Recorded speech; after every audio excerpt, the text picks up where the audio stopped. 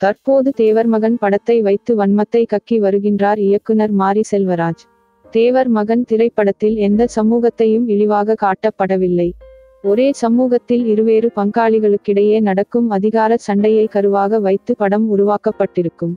அப்படி உருவான தேவர் மகன் படம் தலைப்புக்காகவும் படத்தில் வரும் பாட்டுக்காகவும் எதிர்மறையாக எடுத்து கொள்வது தவறு. ஐந்து தேசிய விருதுகள் மூன்று மாநில அரசு விருதுகள் இரண்டு பிலிம்பேர் விருதுகள் இன்னும் பல விருதுகளை வென்று குவித்துள்ளது. அந்த காலத்திலேயே ஆஸ்கர் விருதுக்கும் பரிந்துரைக்கப்பட்ட தமிழ் படம். இசக்கி பெயர் தென்பகுதியில் தேவரினம் அதிகமாக வைக்கும் பெயர். இதில் இந்த மாரிக்கு என்ன பிரச்சனை? வடிவேல் கோயில் பூட்டை உடைக்கும் போது கூட தெற்கத்தி கள்ளனடா தென் மதுரை பாண்டியண்டான்னு சொல்லிட்டு தா கோயில் பூட்டை உடைப்பார். காமாலை கண்களுக்கு காண்பதெல்லாம் மஞ்சளாக தானே தெரியும். இவனுங்களுக்கு இந்த படத்தால் பிரச்சனை இல்ல அந்த படப்பேர்ல தான் பிரச்சனை போல. மாரி செல்வராஜ் அவர்களே நீங்க வன்மத்தை கக்கிய தேவர் மகன் படம் முப்பது வருஷம் முன்னாடி வந்த அன்றைய காலகட்டத்திற்கும் சூழலுக்கும் ஏற்றவாறு எடுக்கப்பட்டது.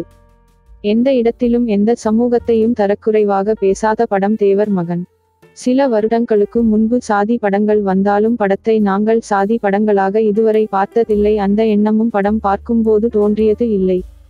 ஆனால் இப்பொழுது நீங்க உங்க குருநாதர் ரஞ்சித் போன்றவர்கள் எடுக்கும் படங்களை பார்க்கும் போது சாதி கலவரத்தை தூண்டுவதற்காகவே படத்தை எடுக்குறீங்க. அருவாளை தூக்கி வீசிட்டு போய் புள்ளி குட்டிகளே படிக்க வைங்கடான்னு சொன்னது தேவர் மகன். அருவாளை தூக்கி போலீஸை கொல்லுடான்னு சொன்னது கர்ணன்.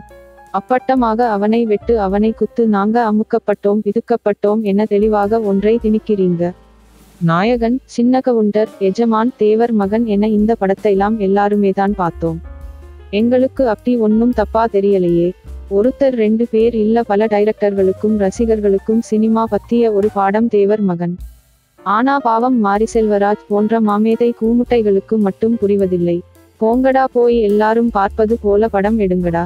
தற்போது தேவர் மகன் படத்தை வைத்து வன்மத்தை கக்கி வருகின்றார் இயக்குனர் மாரி செல்வராஜ். தேவர் மகன் திரைப்படத்தில் எந்த சமூகத்தையும் இழிவாக காட்டப்படவில்லை.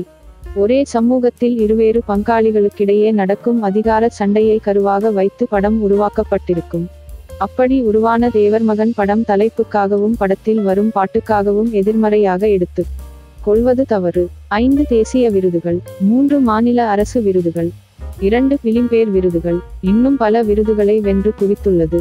அந்த காலத்திலேயே ஆஸ்கர் விருதுக்கும் பரிந்துரைக்கப்பட்ட தமிழ் படம். இசக்கி பெயர் தென்பகுதியில் தேவரினம் அதிகமாக வைக்கும் பெயர். இதில் இந்த மாரிக்கு என்ன பிரச்சனை? வடிவேல் கோயில் பூட்டை உடைக்கும் போது கூட தெற்கத்தி கள்ளனடா தென் மதுரை பாண்டியண்டான்னு சொல்லிட்டு தா கோயில் பூட்டை உடைப்பார். காமாலை கண்களுக்கு காண்பதெல்லாம் மஞ்சளாக தானே தெரியும். இவனுங்களுக்கு இந்த படத்தால் பிரச்சனை இல்ல அந்த படப்பேர்ல தான் பிரச்சனை போல.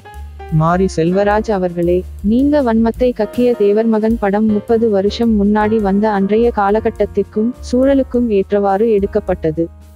எந்த இடத்திலும் எந்த சமூகத்தையும் தரக்குறைவாக பேசாத படம் தேவர் மகன். சில வருடங்களுக்கு முன்பு சாதி படங்கள் வந்தாலும் படத்தை நாங்கள் சாதி படங்களாக இதுவரை பார்த்ததில்லை. அந்த எண்ணமும் படம் பார்க்கும்போது தோன்றியது இல்லை. ஆனால் இப்பொழுது நீங்க உங்க குருநாதர் ரஞ்சித் போன்றவர்கள் எடுக்கும் படங்களை பார்க்கும் போது சாதி கலவரத்தை தூண்டுவதற்காகவே படத்தை எடுக்குறீங்க. அருவாளை தூக்கி வீசிட்டு போய் புள்ளி குட்டிகளே படிக்க வைங்கடான்னு சொன்னது தேவர் மகன். அருவாளை தூக்கி போலீஸை கொல்லுடான்னு சொன்னது. கர்ணன். அப்பட்டமாக அவனை வெட்டு அவனை குத்து நாங்க அமுக்கப்பட்டோம் பிதுக்கப்பட்டோம் என தெளிவாக ஒன்றை திணிக்கிறீங்க. நாயகன் சின்னகவுண்டர் எஜமான் தேவர் மகன் என இந்த படத்தைலாம் எல்லாருமே தான் பார்த்தோம். எங்களுக்கு அப்படி ஒன்னும் தப்பா தெரியலையே. ஒருத்தர் ரெண்டு பேர் இல்ல பல டைரக்டர்களுக்கும் ரசிகர்களுக்கும் சினிமா பத்திய ஒரு பாடம் தேவர் மகன். ஆனா பாவம் மாரி செல்வராஜ் போன்ற மாமேதை கூமுட்டைகளுக்கு மட்டும் புரிவதில்லை. போங்கடா போய் எல்லாரும் பார்ப்பது போல படம் எடுங்கடா.